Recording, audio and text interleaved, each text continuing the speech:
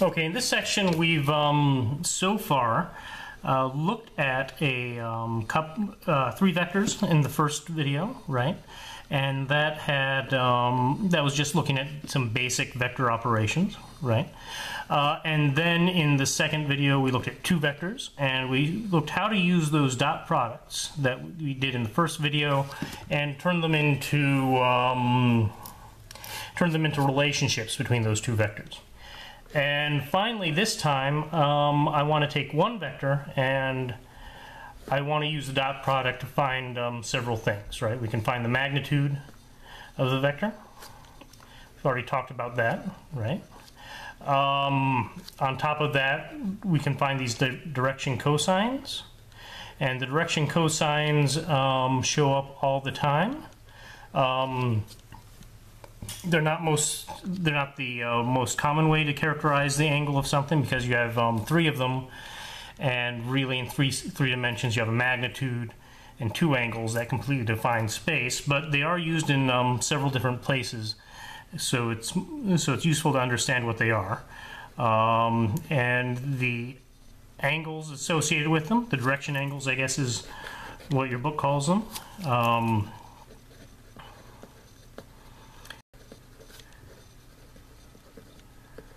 Those are alpha, beta, and gamma, right? Um, and this is cosine alpha, cosine beta, cosine gamma. And then finally, I'll go ahead and find the um, regular spherical coordinates. So um, we already have the magnitude here, and I'll find that um, theta and phi that you're used to finding before. Uh, but I just want to keep on going through and do some stuff with um, dot products and all that other fun stuff uh, so that you understand what's going on. You know, I mean, hopefully that will help you, um, you know, organize all of this uh, angle stuff in your brain when you need to use it later on. Okay, and so let's draw this out and um, sort of get an idea, x, y, z, of what these angles are that I'm talking about. All right. Um, first of all, I guess we have to figure out where exactly P is. P is 1, 2 in the x direction. And then it's 1, 2, 3, 4 in the y direction. So that's its projection in the xy plane. Right, and you already know how to find the projection in the xy plane. Because um, you did that without having to do any of this more advanced math. And then we're going to find, um, I'm going to go up four, right, the z, the z component. So one, two, three, four, these are pretty large steps. And then this guy here, that is P. That's where P is. That's the point P. Um, so these angles that we have are from the axis to the vector.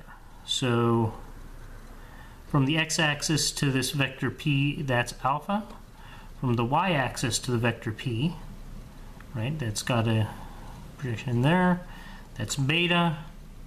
And then from the z-axis to the vector p, that's gamma. All right. Um, so that's looking pretty good so far. I I don't see any um, reasons why you'd be upset about that. Uh, it turns out that this angle from Z to P, that's also theta. So this spherical angle theta and this angle gamma, they're the same angle. I would have chosen a different, um, I would have chosen a different order for, for some of this stuff, but that's what we get. Then, then what we have is the angle from the x-axis to the projection of P in the xy plane. That's going to be phi. So this is phi here. Right, alpha is alpha is from the x-axis to the um, to the to the direction of the area of the of the vector. So it has the same. Um, this alpha has the same definition as theta and gamma, right? Alpha, beta, gamma all have the same definition, and it's basically the same definition as that polar angle theta. It's um, it's this angle here, phi. That guy has the slightly different definition. Okay, um, and that that's the punchline. Th- that's um, what you really should bring out of this, and will um, keep you from lying awake at night in graduate school. All right, so hey, let's find um, the magnitude of p. We can call that like that. Uh, we've done this over and over and over again. It's the um, first component squared, 4 meters squared, plus the second component squared, that's 16 meters squared, plus the third component squared, that's 16 meters or squared. So that ends up being um, 16 plus 4 is 20, plus 16 is 36 square meters. So take the square root of that, you have 6 meters. That's, that's our magnitude simple, to the point, something that you do all the time, um, something that we started this um, chapter off with, and something you're going to keep on getting to use over and over again during the course of the semester. Um, B, direction cosines. Okay, so the um, definition for these direction cosines is basically the cosine of alpha, for example, is the x component of um, p, so that's px, over its magnitude p. Okay.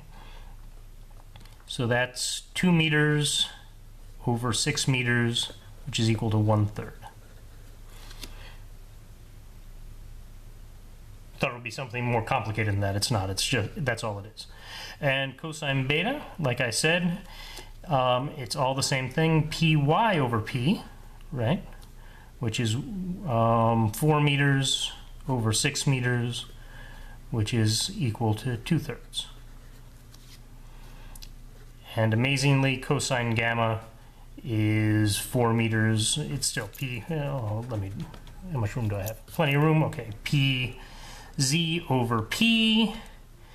4 meters over 6 meters equals 2 thirds.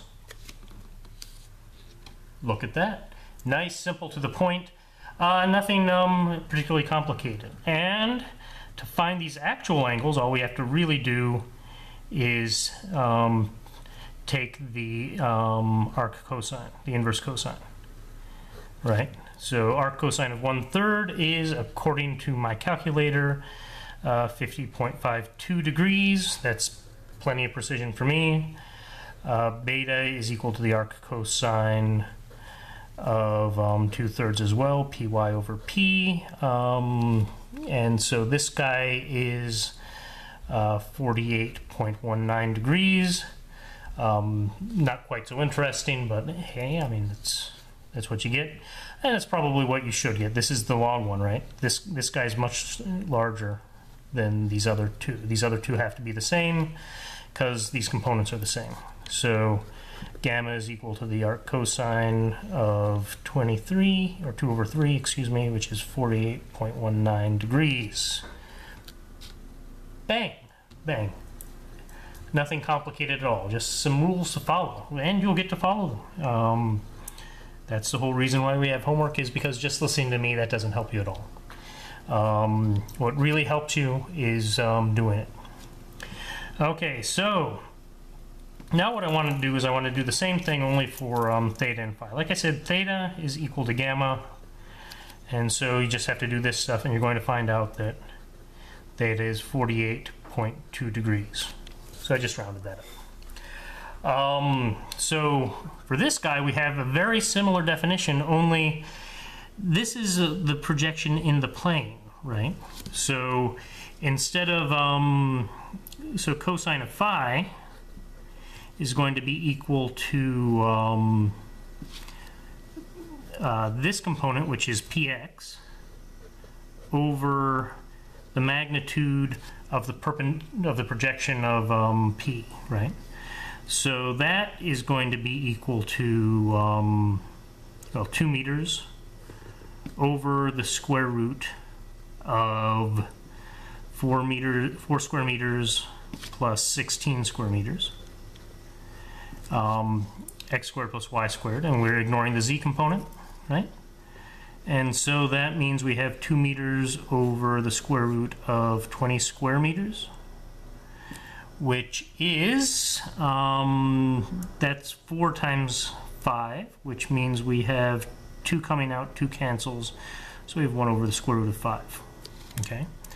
And so that means that, you know, phi being equal to the um, inverse cosine of 1 over the square root of 5 uh, gives us 63.4 degrees, somewhat, somewhat smaller than that guy, which makes sense, right? And somewhat larger than this guy, which makes sense. So everything's good. We, un- we understand what's going on.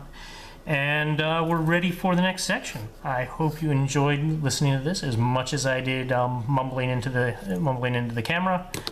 Um, be good, and I'll see you tomorrow.